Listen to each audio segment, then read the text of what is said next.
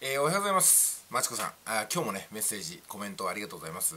えー、あのアリさんのね私の自宅のアリさんの巣の動画が見つからないということなんで動画説明欄に URL つけておきますのでそちらの方からあ再度ご覧ください。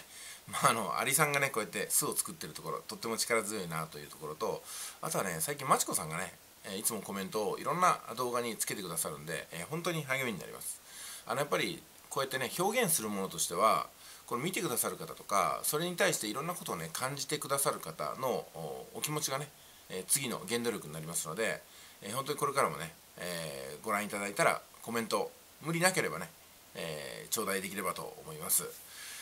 で、えーと、私広島のね福山市ってとこに住んでるんですけども友の浦とかね尾道こういったものが近くにありますね。それから少し、えー、動くと岡山県のその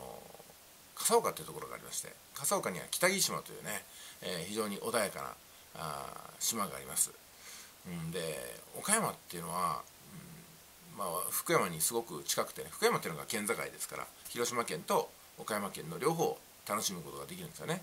で先日広島市の方に行ってきたんですけどもやっぱりね2時間ほど車でかかるんですよ。でも岡山っていうのは本当数分とか10分ぐらいで着いちゃうんでついついね岡山の方ね、えお邪魔することが多いですね。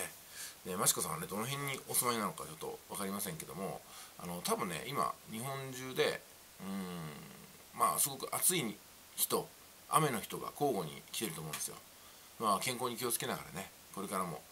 えー、楽しくねこの YouTube 活動していこうかと思いますので、えー、そちらの方もよろしくお願いします、え、それでは本日はこんなところですかね、えまたコメントください。よろしくお願いします。